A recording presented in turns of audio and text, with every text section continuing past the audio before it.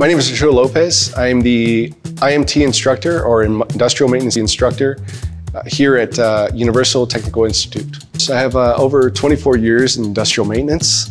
I started off as a mechanic, uh, became an electrician, uh, worked into uh, PLC and controls. Uh, after that, I went into uh, more motion control systems and robotics as well. So industrial maintenance is basically everything that we know in the modern world is industrial maintenance, from aircraft to automobiles, uh, to anything that uh, we eat, anything that's built in a factory. Our main job as technicians is to maintain uh, minimum downtime uh, for factories out in the uh, industry. I personally believe the trade school route should be something that everybody should go through uh, before they go into engineering school.